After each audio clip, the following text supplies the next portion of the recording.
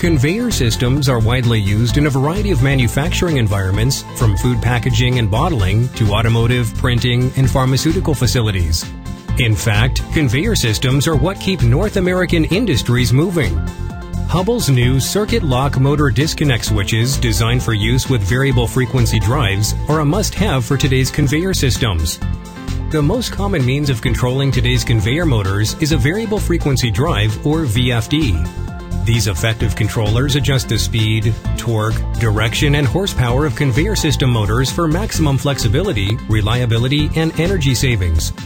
VFDs accomplish this by using high-performance output devices to switch power on and off at specific intervals to create an efficient, variable AC waveform.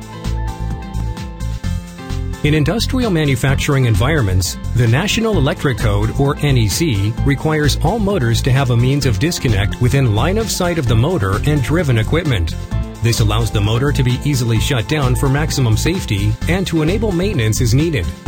Hubbell circuit lock disconnect switches are UL listed as a manual motor controller and motor disconnect to meet code requirements. The switch is placed in a UL Type 4X safety enclosure and features a high visibility red handle. Using a standard disconnect switch between your VFD and motor loads has several inherent problems. VFD drive systems produce frequencies outside of the operating range of a standard switch. Interrupting and reconnecting power from the VFD to an active drive motor with a disconnect switch can potentially cause the switch contacts to weld shut. This can prevent the switch from properly and safely cutting off power, which could result in risk of injury to personnel. In addition, if a disconnect switch is turned off while the drive is operating, power will be removed from the motor.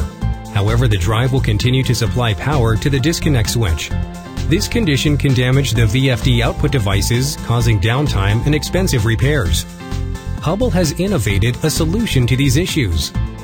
Hubbell's improved 30 amp circuit lock motor disconnect switch for use with VFDs incorporates an early break auxiliary contact that enables VFDs to execute a coast to stop, preventing any damage to the disconnect switch and the VFD output devices.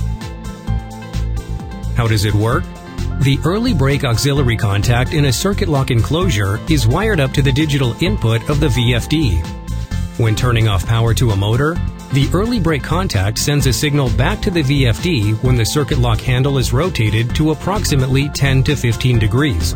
The signal enables the VFD to execute a coast to stop, preventing damage to the VFD and the disconnect switch. The power contacts on the circuit lock disconnect switch don't start to open until the red handle reaches approximately 40 to 45 degrees. The delay between the signal being sent to the VFD and the contacts opening is designed to be long enough to safely disable the drive. The early break auxiliary contacts pre-installed in the circuit lock disconnect switch prevents possible problems when used with VFDs. The early break auxiliary contact device can also be purchased separately and easily installed on existing circuit lock motor disconnect switches in the field.